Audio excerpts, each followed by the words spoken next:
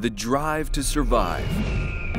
It literally shapes a species through genetic mutations that, over generations, help keep a competitive edge.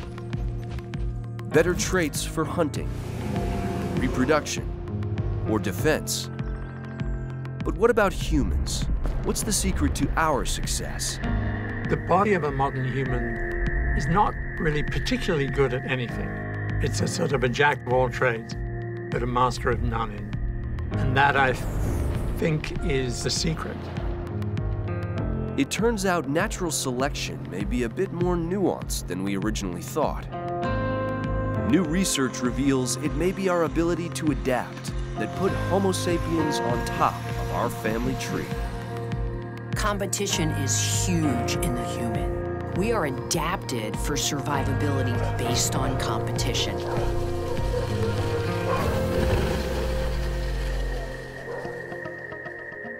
Humans are everywhere. We've found a way to make life habitable in just about every corner of the globe. From the brutal cold of the Arctic to the sweltering heat of the desert and the suffocating humidity of the tropics. Much of this we owe to our physical design, one that proves bigger may not always be better. Take our closest extinct human relatives, the Neanderthals. They lived in Eurasia for more than 200,000 years, up until about 30,000 years ago. Their short-limbed, heavy build was an evolutionary adaptation best suited for the Ice Age, which helped to conserve body heat. But it demanded an extremely high-calorie diet, which likely contributed to their downfall when the climate rapidly changed and food became more scarce. Neanderthals seem to be over-engineered compared to a modern human. The reason that modern humans survived because they lived alongside Neanderthals and Neanderthals didn't is probably because modern humans could get by with less energy at times when there wasn't much energy available. So strength isn't everything if it costs you more energy than you can obtain. Modern humans may have had another big advantage over their Neanderthal cousins, our ability to run long distances. While humans are average sprinters compared to other animals, biologists believe endurance running played a crucial role in our evolution and in creating our upright physique. We have adapted our upper body to be bipeds. We have large scapula or shoulder blades to stabilize the core, trunk, and arms. We have enhanced vibratory sensation in the semicircular canals of our ears. We have a vestibulo ocular reflex in our eyes to tell us when our head position is upright and to right ourselves on uneven terrain. So we are the masters of the upright gait and we can drink and eat on the run. So what's the farthest a human can run without stopping? In 2005, American ultramarathon runner Dean Karnazes ran 350 miles across Northern California without even stopping to sleep or eat. The current record for a female is 311 miles. I think there's a limit to what the human body can tolerate in, in distance running if we don't replenish our needs on the go. So I think we can run way further than we've even run now. We need to optimize the equipment, the nutrition, and we need to have control of our internal climate. That's called homeostasis, maintaining the self both metabolically and ergonomically. Overheating is a problem for many species, but over time, humans acquired unique physical adaptations to rid excess heat, including the loss of thick body hair and a superb ability to sweat. We are fabulous sweaters.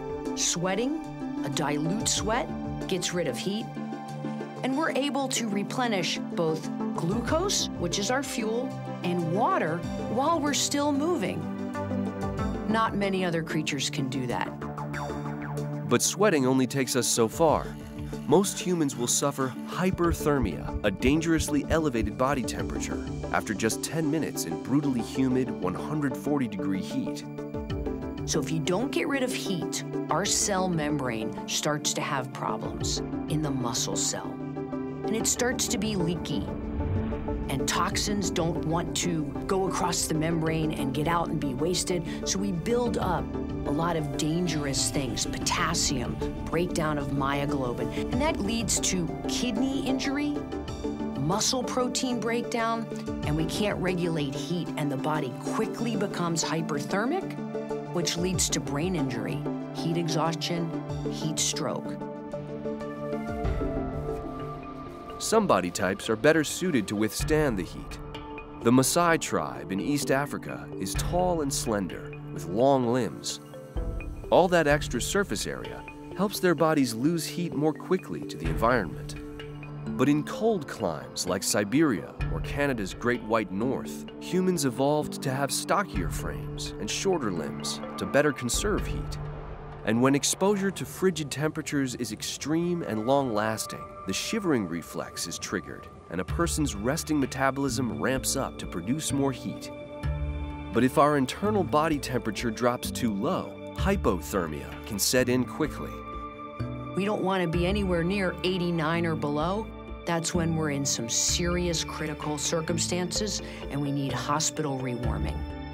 Cold temperatures are just one of the threats posed at high altitude.